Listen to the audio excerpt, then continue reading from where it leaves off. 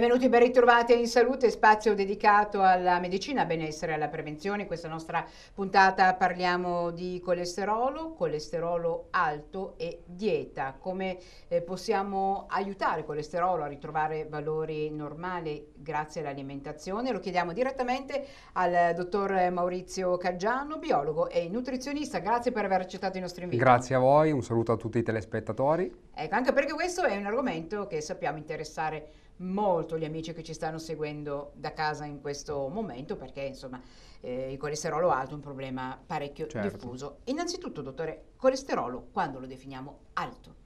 Sicuramente occorre distinguere il colesterolo nelle sue componenti, che sono il colesterolo totale, che è alto quando eh, supera livelli di 200 mg decilitro, la componente HDL, ed LDL. L'LDL è il cosiddetto colesterolo che si definisce cattivo, che eh, deve diciamo, attenersi al di sotto dei 100 mg decilitro.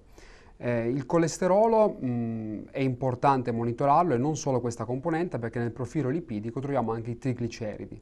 Valori ottimali di trigliceridi sono al di sotto dei 100 mg decilitro. Sicuramente... È alto dopo i valori che c'è. Esatto, esatto. Eh, solitamente, esatto, solitamente le cause che portano questi valori ad alzarsi sono sicuramente nella dieta, quindi le abitudini alimentari, la sedentarietà, il fumo di sigaretta e poi sicuramente c'è una componente genetica che predispone ad avere questi valori diciamo più alti. Ci sono anche delle condizioni patologiche come ad esempio eh, problemi di tiroide, quindi nell'ipotiroidismo e col trattamento con, con, i farmaci si possono riscontrare dei, dei, valori più alti di quelli fisiologici. Ecco, quindi le cause, insomma, riassumiamo. Riassumendole sono sicuramente... Evitiamo il fumo. Esatto, fumo, eh, l'alimentazione, eh, cercare, correggere l'alimentazione, sicuramente cercare di fare del movimento eh, e eh, laddove c'è una predisposizione genetica ancora di più eh, è importante eh, controllare le abitudini alimentari, che significa eh, seguire un regime equilibrato sia dal punto di vista delle calorie che dal punto di vista dei nutrienti, perché eh, a volte si tende a fare confusione su questo quando in realtà non sono solo le calorie a, a determinare poi gli aumenti dei, dei, livelli di colesterolo. E qui entra in gioco il biologo nutrizionista, quindi una domanda molto semplice, cosa mangiare, i cibi da evitare, poi entreremo nel dettaglio di, di, consigli, di esempi, quindi Cosa mangiare? Che cosa può aiutare a tenere sotto controllo il colesterolo? Sicuramente eh, il colesterolo si introduce con gli alimenti e così anche i trigliceridi che sono la componente lipidica, la componente grassa degli alimenti che si,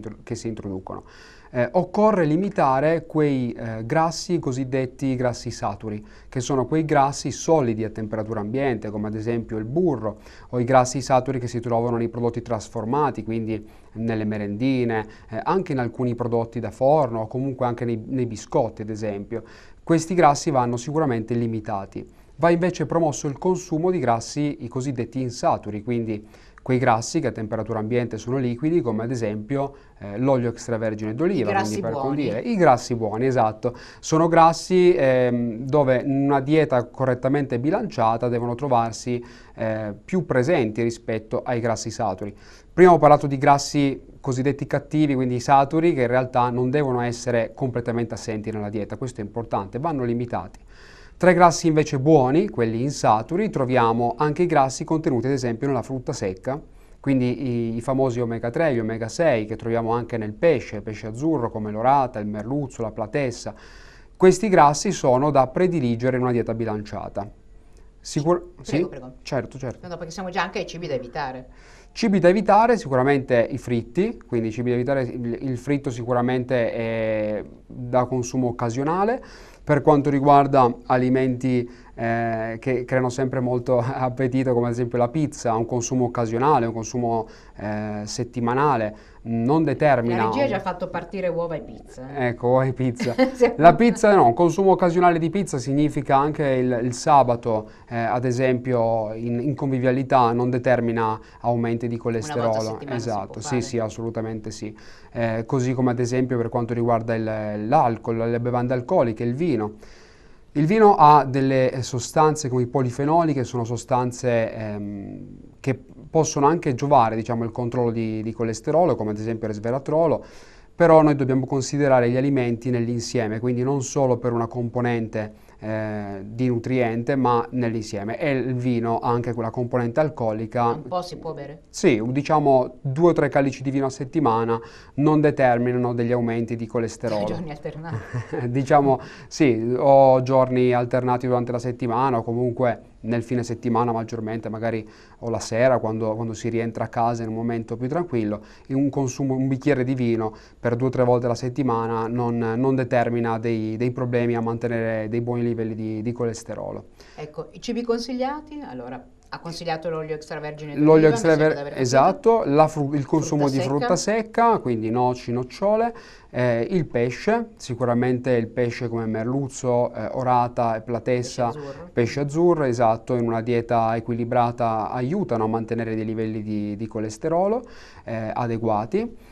Eh, per quanto riguarda invece le uova, anche le uova sono spesso oggetto di dibattito quando si parla di colesterolo, le uova sono da eh, limitare a eh, 4-5 uova a settimana, questo perché non è eh, il consumo diretto di, di uova a determinare un aumento nel lungo periodo, può magari determinare un aumento fisiologico dopo il consumo, eh, però eh, seguire la linea guida di 4-5 uova a settimana può eh, non, non, incidere nel, sul lungo periodo nel, per quanto riguarda i livelli fisiologici di, di un buon livello di, di, colesterolo. Bene, quindi mi raccomando prendete nota sui cibi consigliati che per mantenere livelli di colesterolo quantomeno accettabili che ci ha fornito il dottor Maurizio Caggiano. E veniamo agli esempi, perché poi la teoria un po' la sappiamo, ma quando è il momento di mettere in pratica quanto voi ci insegnate, certo. ecco che ci arreniamo. Quindi un esempio di colazione. E qui siamo in tanti a sbagliare, io mi metto nella lista. Certo, allora eh, la colazione innanzitutto sulla prefer- preferenza personale bisogna capire se orientarci sul dolce o salato, perché poi la preferenza è soggettiva.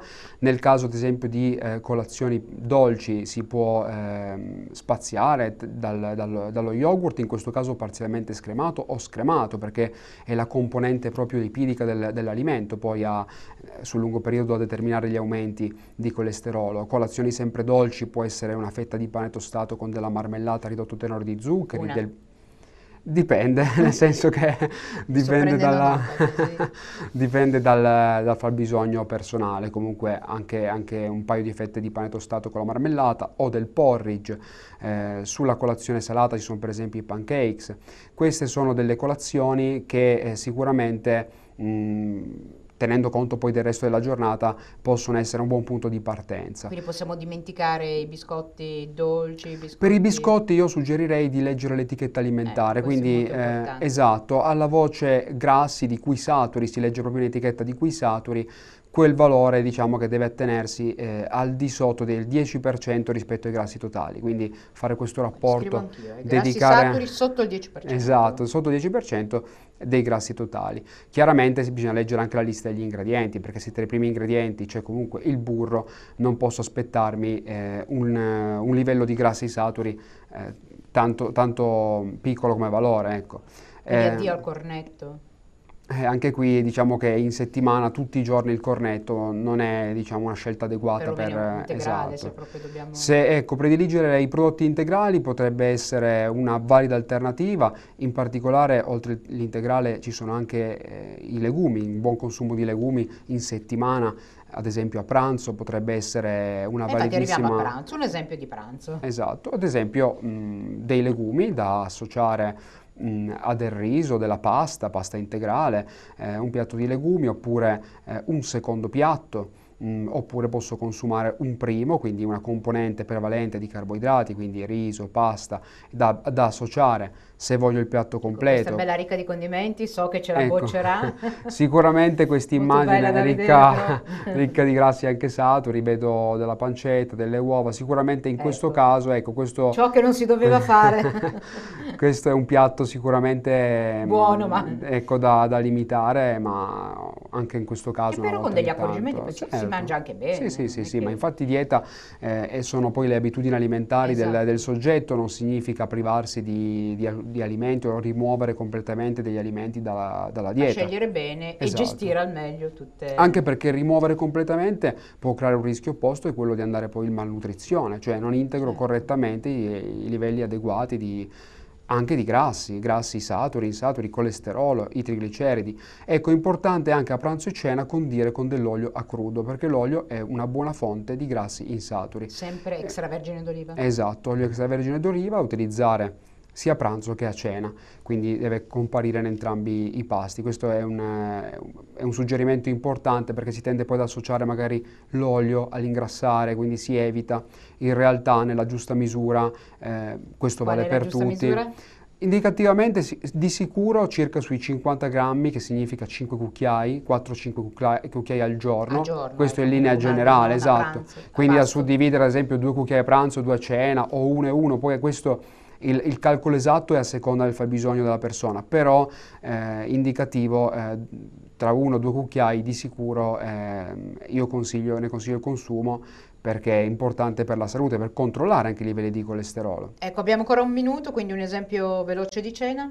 Esempio veloce di cena potrebbe essere o un secondo, di nuovo un primo, a seconda di cosa ho fatto a pranzo. In questo caso potrei consumare un, un taglio di carne, ad esempio magra, eh, oppure delle uova, una frittata con delle verdure, eh, accostare un accompagnamento con, ad esempio, del pane integrale. Eh, in questo caso, ehm, tenendo conto poi della giornata, posso andare a, a, completare quelli che sono i vari introiti. Quindi alla, alla sera io consiglio supponiamo di aver utilizzato il primo a pranzo, un secondo con della verdura. Anche la verdura... Quindi un po' quelli che sono i principi della dieta mediterranea. Eh, esatto, ecco. sì, sì. Il, Magari non primo e secondo, ma un primo. Infatti la, la, dieta mediterranea è proprio impostata per eh, preservare quelli che sono poi quelli che sono i rischi verso le malattie cardiovascolari che sono correlate anche poi eh, agli aumentati livelli di colesterolo nel sangue ci ha dato un sacco di suggerimenti preziosi, un altro suggerimento è quello ovviamente di tenere il colesterolo sotto controllo, basta fare un esame esatto. del sangue. Un esame del sangue, esatto. Anche dove, farmacia, quindi. Sì, dove si va a determinare il livello di colesterolo totale, trigliceridi e almeno l'HDL. Poi l'LDL si può calcolare anche per calcolo inverso, quindi senza determinarlo direttamente nel sangue, si può anche poi determinare in via diretta con le analisi del sangue. Bene, grazie per tutti i consigli preziosi che ci ha fornito, dottor Maurizio Caggiano, biologo, nutrizionista e grazie a tutti i nostri telespettatori.